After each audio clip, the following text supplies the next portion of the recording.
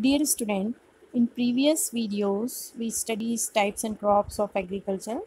Today we see topic horticulture crops and non-food crops.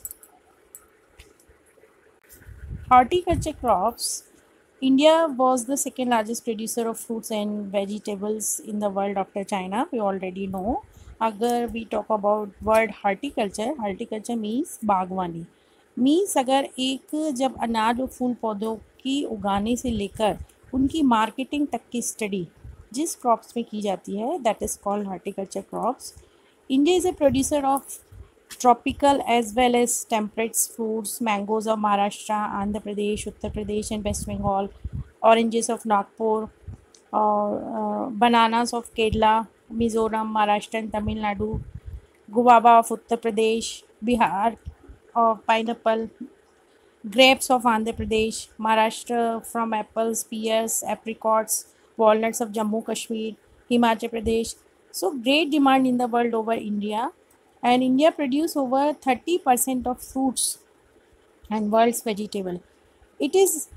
an important producer of pea, cauliflower, onion, cabbage, tomato, brinjal and potato. So these are the horticulture crops. Next content is non food crops all we already know कि food crops means जो भोजन के लिए हमारी फ़सलें काम आती हैं that is called food crops and non food crops मतलब जिनको हम दूसरे उपयोग में लेते हैं। तो first rubber rubber is an important industrial raw material और India rank fourth among the world natural rubber producer in 2018 and 2019 we talk about climatic conditions of rubber so it is an equatorial crops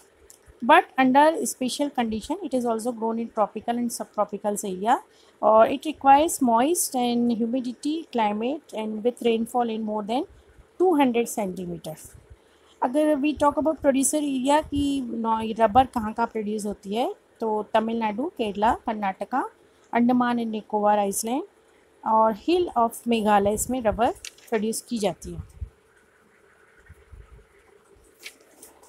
Fibre crops the word fibre means रेशे fibre मतलब होता है रेशे जो crops किसी रेशे के through grow होती हैं that is called fibre crops cotton jute natural silk and the four majors fibre crops grown in India the first three are derive from the crop grown in the soils and later three is obtained from the cocoons of silkworms in green leaves, especially mulberry. Means जो silk का producer है silk का जो production है, वो sericulture फॉर्मिंग्स में आता है। इसमें सिल्क वॉर्म्स को प्रिजर्व करके सिल्क को प्रोड्यूस किया जाता है। फाइबर क्रॉप्स में जो मेन क्रॉप्स है वो है कॉटन और India is believe to be the original home of the cotton plant cotton is one of the main raw materials for cotton textile industries requirements according to cotton crops के लिए जो हमें requirements होती है, जो हमें climatic conditions need होती है so cotton grows well in a there parts of the black soil black soil में ये कॉटन अच्छे से पैदा होती है। और ओरिजिनली जो डेकन प्लेटूज़ होते हैं और हाई टेम्परेचर लाइट रेनफॉल में इसको हम इरीगेशन कर सकते हैं। We talk about production area in cotton so major cotton producing states are Maharashtra Gujarat Madhya Pradesh Karnataka Andhra Pradesh Telangana Tamil Nadu Punjab Haryana and Uttar Pradesh green revolution green revolution means हरित क्रांति हमेशा से हमारे India का main motto green revolution रहा है। Farmers की भी यही कोशिश होती है कि वो हमेशा अपने देश के लिए अधिक से अधिक प्रोडक्शन करें। सो ग्रीन रेवोल्यूशन की स्टार्टिंग 1967-68 में हुई थी और भारत में एम एस स्वामीनाथन को इनका क्रेडिट जाता है ग्रीन रेवोल्यूशन को स्टार्ट करने का। इनका मुख्य जो मोटो था कि फार्मर्स को अच्छे से अच्छे बीज देना और अच्छे से अच्छे एग्रीकल्चर फ़ार्मिंग की टेक्निक्स उनको बताना ताकि वो ज़्यादा से ज़्यादा पैदावार दे सकें और ग्रीन रेवोल्यूशन इंडिया में ला सके। In the 1980s and 1919 and comprehensive land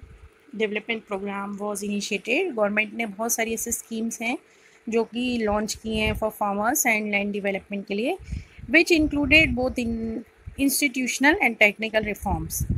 provision for crop insurance against drought flood cyclone fire and disease अगर किसी कंडीशंस में अकाल बाढ़ की स्थिति आ जाती है तो क्रॉप इंश्योरेंस गवर्नमेंट की तरफ़ से दिया जाता है। ग्रामीण बैंक कोऑपरेटिव सोसाइटीज़ आगे ऐसी भी कौन सी, बहुत सारी सी स्कीम्स हैं जो कि गवर्नमेंट डेवलप कर रही है। कुछ मेन स्कीम्स जैसे Kisan credit cards K C C accident insurance schemes